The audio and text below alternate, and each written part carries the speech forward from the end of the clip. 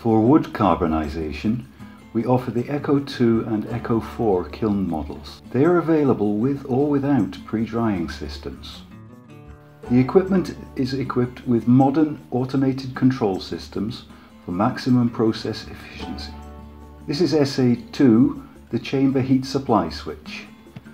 It allows manual control of the flap, which directs supply of the heating medium to the appropriate working chamber during pyrolysis and drying.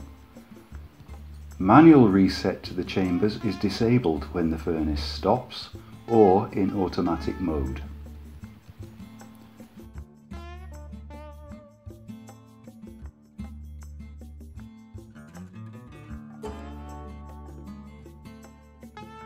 SA4 is the switch regulating discharge to the afterburner.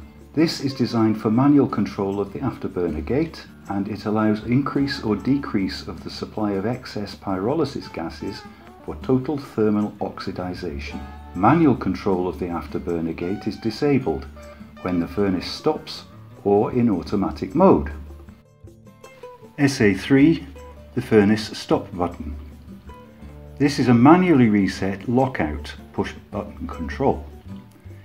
It allows manual stoppage of the kiln. When pressed, the afterburner gate opens fully and the chamber shutter closes the heat supply to either chamber in which the pyrolysis process was taking place. With the help of an ACS and instrumentation, the operation of the furnace becomes easier, safer and much more effective.